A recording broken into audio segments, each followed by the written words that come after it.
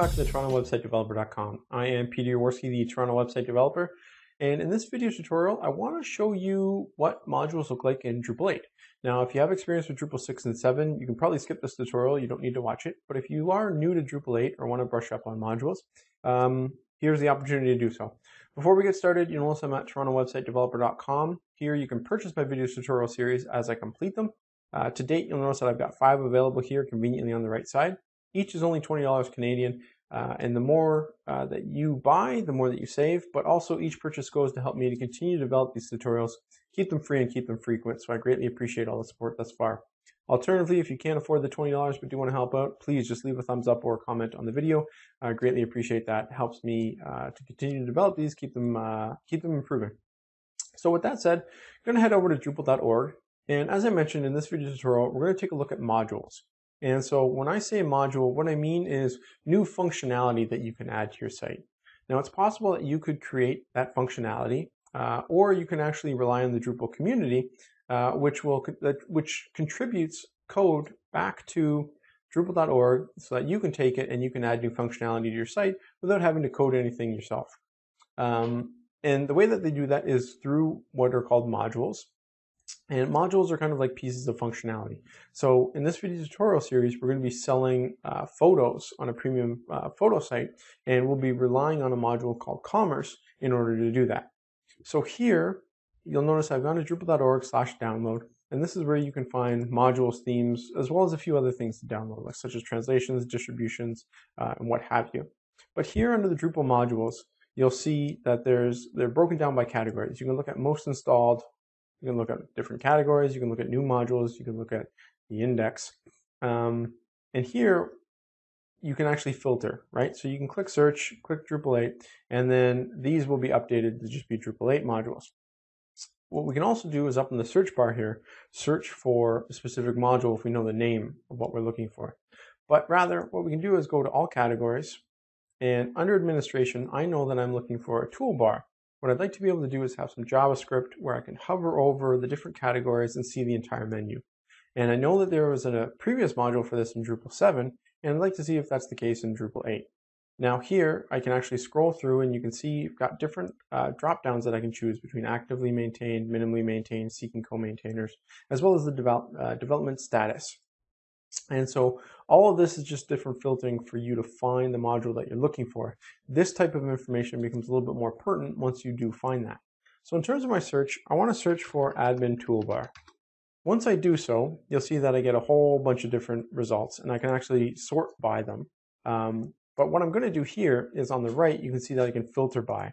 Um, and you'll see that all the different categories that come up include forms and issues, documentation, modules, themes, and groups. What I'd like to see is just the modules. So when I click on modules, all of these results are just going to be modules, and that's where you see module project here. This first one seems to be what I'm looking for, so I'm just going to click on it and take a look. And here, what you typically see on a module page is perhaps some images, but a nice description of kind of what the module does, and all of that is dependent upon what is called the maintainer.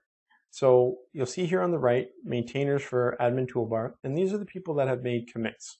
Commits refer to um, code that's been added to the module. I won't get into the whole Git workflow um, or, or Git version control, uh, but that might be something you want to take a look at because Drupal does all of its version control through Git. So that said, uh, as I mentioned, you have this entire description which is provided by uh, module maintainers. Beneath that, you have some project information. And this is kind of what we saw in terms of the filters. But we have this uh, maintenance status, we have the development status, module categories.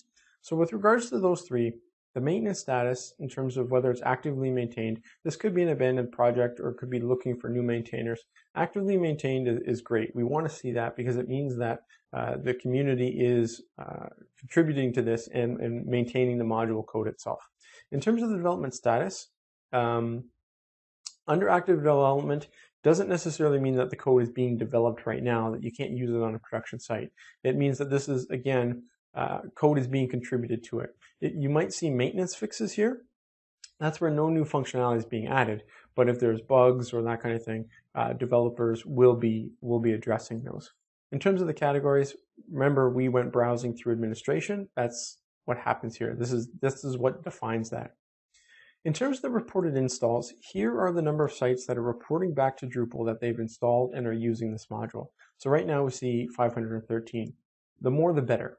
Uh, more sites reporting usage indicates that the module is pretty popular. It's out there, and because it's popular, there are a lot of eyes on it. More likely to have some uh, code being maintained and, and, functionality added to it, problems being fixed, and whatnot. That said, this isn't the the be all and end all. Down here, you'll see there are also downloads. You don't have to report back to Drupal.org that you're using a module. So you'll see that there's been 4,700 downloads, only 513 sites are reporting using it. The reason for that is could be people are doing this on testing sites, um, multiple people could be downloading repeatedly, a whole bunch of things. In terms of automated tests, this is just whether or not developers have created tests for this that are run by code to ensure that uh, the code does what it's intended to do, and when there are updates, nothing gets broken. So just below that, you'll see that there's downloads.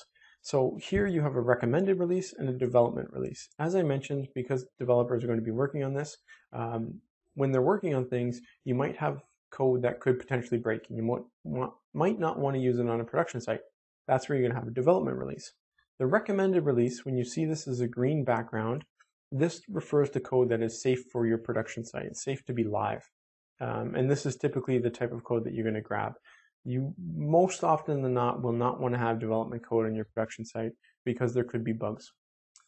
In terms of this, these two tables, the date is what you also want to take a look at because this denotes when the last uh, build was created for this module. So the last um, commit was made October 20th to this clean version of 8.x 1.0. Um, and I think if you actually click on this, you can see the revision history of what's happening. So here are the release notes um, of, of associated with this. Again, this might be overly technical for you. Don't worry about it. Um, you can just grab the actual version from the downloads here. Now, the last thing that we want to take a look at is this right sidebar. So the maintainers for the admin module or admin toolbar, these refer to the people who have committed to the code base, right? And so right now there's only one person doing that. You can actually take a look at all the committers. You can also take a look at all their commits to see what they've actually done. And this is great if you're curious about what module development looks like. You can see how people have, have changed the code over time, and it's a great way to learn. You can also look at the issues for the admin toolbar. This is also a good thing you want to take a look at before you choose to use a module. Um, issues refer to um, tickets that people have filed to say, hey, maybe I want new documentation, maybe there's a bug, maybe there's new functionality. And you can take a look at all of these. So if we click on 39 total, you can see all of the different types of, of tickets. And so closed fixed is obviously a great thing. We want to see that. Um, and then there, there's others, right? So if we had white, this is active, closed works as designed, right? Cannot reproduce. Uh, so this looks like it's all actively maintained because we can see when these are created and when these are updated. So this is great to see. And if you log in, you can actually create your own as well. Um, statistics you can obviously work through. Last two things, resources. More often than not on the more popular modules, you'll find resources tabs which help you to understand how to use a module or set up a module. Uh, admin toolbar is pretty straightforward, but for something like commerce, you would have extensive documentation, which is great. Um, and then development, uh, as I mentioned, you can see the patches, you can see the, the code repository, the commits, any security uh, vulnerabilities can be reported here, and then the change records. So we're going to go ahead and we're going to copy this link address and we're going to go back to our site. And so I'll just take you to my home page. And you'll see here that I have this toolbar that's come with Drupal, uh, Drupal core, and it provides this nice extend um, link. And so when I click on extend, this is where I can actually go and add modules. And so here, what I've done ahead of time is I've gone down to the update manager and I've enabled this. So I clicked off that checkbox and I've come down to the bottom and I've clicked install. And the reason why I did that is because that module will allow you to install modules from within your own UI. So now I get this nice install module link and I can click on that and it'll take me to a new page where I can install from a URL. So I'll just go ahead and paste that and then I'll click install. So it's telling me it's already installed because I previously went through this and tested some things out. And so now when I scroll down here to admin, you'll see that I have admin toolbar, admin toolbar tools.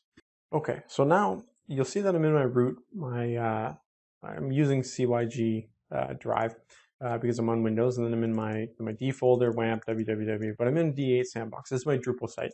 And so when you ls, you'll see all the different um, folders.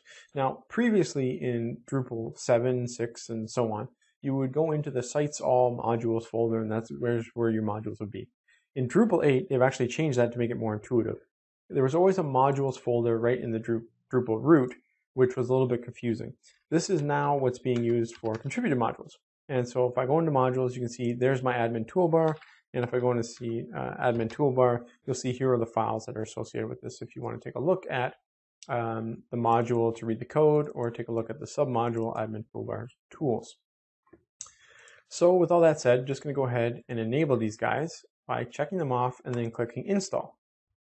So now you'll see here that two modules have been enabled, admin toolbar, admin toolbar tools, which is as expected.